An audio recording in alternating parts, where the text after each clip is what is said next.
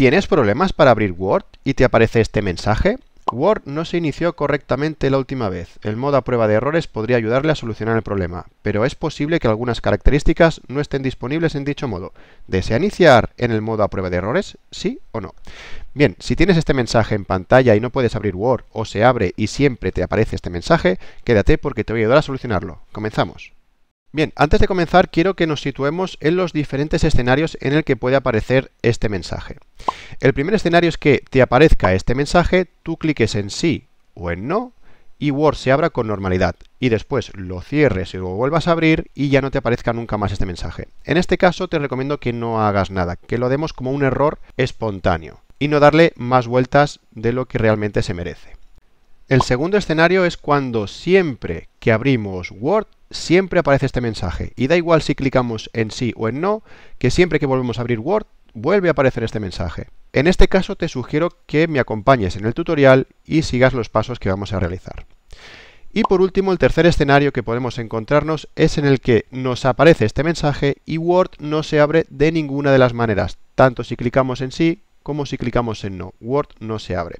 También nos daremos cuenta que si este mensaje te aparece, Outlook tampoco se abrirá. También tendrás problemas, ya que Outlook utiliza muchas funciones de Word, ¿de acuerdo?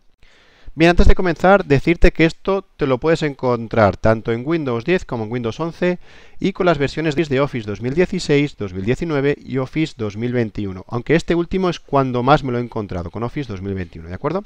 Bien, vamos a ver los diferentes métodos sobre cómo podemos reparar este error. El primer método es muy sencillo, nos venimos a Inicio, después a Panel de Control, clicamos en Desinstalar un programa, buscamos nuestra versión de Microsoft Office y después clicamos en Cambiar. Pulsamos en el botón Sí y aquí nos aparece dos opciones, la reparación rápida y la reparación en línea. Yo te sugiero que siempre utilices la reparación en línea, ya que la reparación rápido te hace reparaciones muy simples, muy tontas, como reparar el acceso directo al Word, por ejemplo. ¿Vale? Y en cambio la reparación en línea te desinstala Office y te lo reinstala con las nuevas actualizaciones. Esto es lo que yo te recomendaría. Clicamos en reparar, nos pregunta si estamos listos, le decimos que sí, reparar, y le damos su tiempo para que desinstale y repare Office. Si durante la reparación te aparece este mensaje y nos dice, oh, ha habido un error y no podemos reparar Office no te asustes, ¿de acuerdo? Lo primero que tienes que hacer es clicar aquí en cerrar y después nos aparecerá el mensaje donde nos dice que no se ha podido reinstalar Office, ¿de acuerdo? No te asustes, ¿vale? Clicamos en cerrar y ahora lo que debes hacer es reiniciar tu PC y después, una vez iniciado, tienes que instalar manualmente tu versión de Office. Si has perdido tu instalador, no te preocupes, en la descripción del vídeo tendrás un enlace a mi blog donde te encontrarás las diferentes versiones de Office para que los puedas instalar. Siempre enlaces a webs oficiales de Microsoft. Bien, una vez hayas acabado de instalar Office, tan solo te queda probarlo. Clicamos en Inicio, escribimos Word, abrimos Word y se tendría que abrir tu Word. En el caso de que tuvieras licencia digital, tan solo debes volver a poner tu clave de producto aquí. Si necesitas claves de producto baratas de Office 2019, 2016 o 2021, te dejo en el comentario fijado un vídeo donde explico dónde conseguir licencias súper baratas, ¿de acuerdo? Por lo tanto, pones tu clave de producto aquí y tan solo te queda probar si Word funciona correctamente. ¿Qué pasa si este método no te ha funcionado? Pasamos al método número 2. Bien, en el método número 2 utilizaremos una herramienta de Microsoft que se llama Sara. Vamos a descargarla y ahora os diré cómo funciona. Venimos a nuestro navegador preferido y en el buscar escribimos desinstalador Office y pulsamos Enter. Clicamos en este enlace de aquí, desinstalar Office. No obstante, no os preocupéis, os dejaré un enlace a esta web en la descripción del vídeo, ¿de acuerdo? Bien, vamos primero a descargar esta herramienta. Bajamos hacia abajo, y clicamos aquí, en la segunda opción. No os asustéis, aunque ponga Microsoft 365, funciona para cualquier Office, desde Office 2016, 2019 y 2021. ¿De acuerdo? Clicamos en descargar y se nos habrá descargado el archivo. Clicamos en abrir y nos aparecerá esta ventana, iniciando la aplicación. Tras unos minutos, reconozco que esto tarda un poquito en aparecer, debe aparecerte esta ventana, ¿de acuerdo?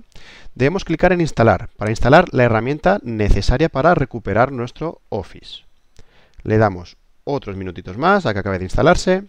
Mientras instala, no olvides suscribirte, activa la campanita, dale a like o dislike si te gustó el vídeo y cualquier consulta o duda lo puedes ir dejando en los comentarios, ¿de acuerdo?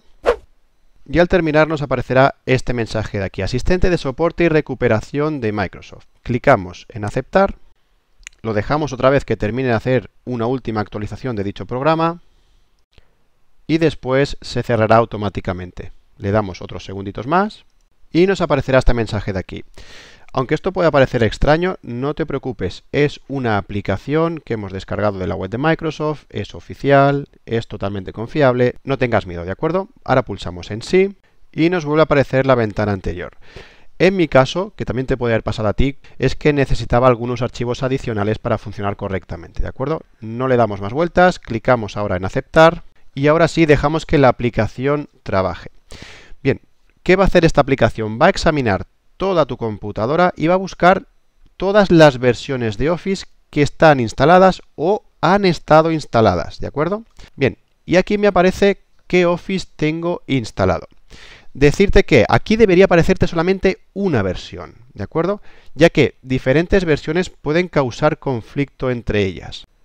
Aquí lo que debes hacer, y es muy importante, es que marques todas las versiones que te aparezcan, ¿de acuerdo? Porque este programa lo que va a hacer es no solo desinstalarte Office, sino que te va a limpiar el registro, archivos temporales o archivos residuales de cualquier versión de Office.